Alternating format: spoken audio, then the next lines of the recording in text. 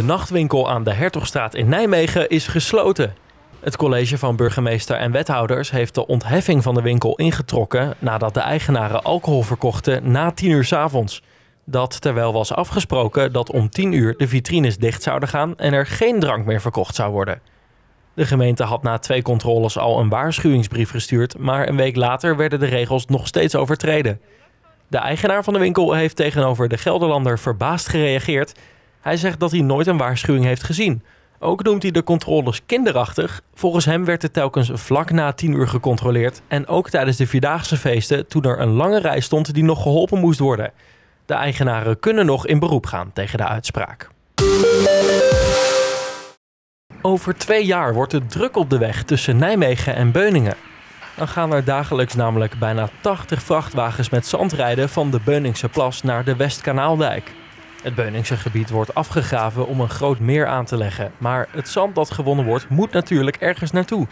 Het gaat met vrachtwagens naar Nijmegen gereden worden, waar het met boten verder vervoerd wordt.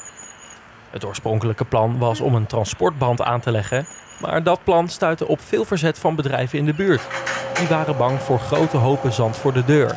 Daarom is gekozen voor een oplossing met vrachtwagens. In Den Bogert in Druten vond zondagmiddag een modeltruckbeurs plaats. Bouwers van miniatuurtrucks kwamen het publiek de voertuigen tonen die ze veelal zelf gemaakt hadden. En daarbij bleef het niet alleen bij vrachtwagens. Er waren bijvoorbeeld ook heftrucks, graafmachines en motoren te bewonderen.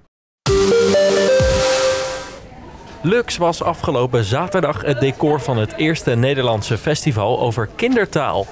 Het festival, Kletskoppen genaamd, is een initiatief van taalonderzoekers van de Radboud Universiteit en het Max Planck Instituut. Het richt zich compleet op taalontwikkeling bij kinderen. Er waren allerlei experimenten, demonstraties en lezingen te bezoeken. Ook waren er wetenschappers aanwezig die vragen van ouders konden beantwoorden over de eerste woordjes van hun kind. En door de modder ploegen. De regio stond dit weekend in het teken van stoere evenementen. In Nijmegen werd City Downhill georganiseerd, een mountainbike-wedstrijd in het centrum van de stad. En in Deest probeerden honderden deelnemers zo snel mogelijk een weg over een obstakelparcours te vinden in de Storm Run. Daarbij kwam niet iedereen ongeschonden uit de strijd en datzelfde geldt voor de mountainbike-wedstrijd. Daarbij kwamen twee ervaren rijders ten val bij de grootste sprong van het parcours, die vervolgens uit de race gehaald is.